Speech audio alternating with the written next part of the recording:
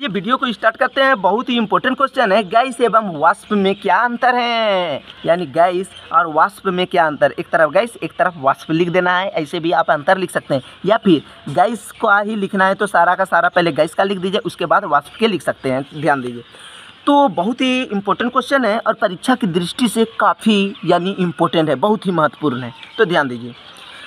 इसके अलावा आपको कोई भी वीडियो की ज़रूरत होगी तो आप हमें कमेंट कीजिएगा, मैं आपका सहायता ज़रूर करूँगा। लेकिन हाँ इच्छा हो तो आप सब्सक्राइब, लाइक ज़रूर कीजिएगा, बोलकर हमें कोई फ़ायदा नहीं है, ठीक है? ध्यान दीजिए। गैस का निर्माण किसी रासायनिक अभिक्रिया द्वारा होता है, लेकिन वाष्प किसी द्रव का वायु रूप है। वाष्प क्या है?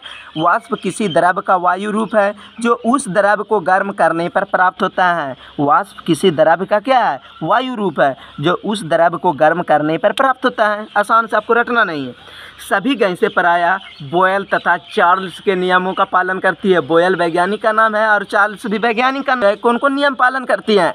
बोयल तथा चार्ल्स के रूल का पालन करती है, ठीक है, नियमों का पालन करते हैं। उसके बाद इसके बाद होगा वाष्प जो है, ठीक है, वांडखल के नियमों का पालन करती है। ये भी वैज्ञानिक का नाम है, ठीक है जो है, वांडखल के नियमों का पालन करती है। इसके अलावा अगर और भी आपको कोई भी क्वेश्चन की ज़रूरत होगी तो आप हमें कमेंट कीजिएगा। मैं आपका सहायता ज़रूर करूँगा। इस, इतना ही नहीं, इस चैनल पर मैं बता देता हूँ, हिंदी इंग्लिश संस्कृत के ऐसे निबंध लेटर एप्लीकेशन जो भी बोल सकते हैं, ठीक है। संस्कृत से पत्र से लेकर निबंध, जितना भी होगा लेख, ठीक है अप्लीकेशन लेटर पैराग्राफ ऐसे हर तरह का वीडियो अपलोड होगा, खास करके गणित और साइंस का वीडियो की भरमार होगी। साइंस हुआ पोलिटी, सोशल साइंस का, पॉलिटिकल साइंस, हिस्ट्री, इकोनॉमी, हर तरह का वीडियो अपलोड होगा। अगर बाज़ार पर कोई भी किताब नहीं मिल रहा है और आपको कोई भी क्वेश्चन आंसर की ज़रूरत है तो आप हमें कमेंट कीजिएगा, मैं आपका सहायता ज़रूर करूँगा।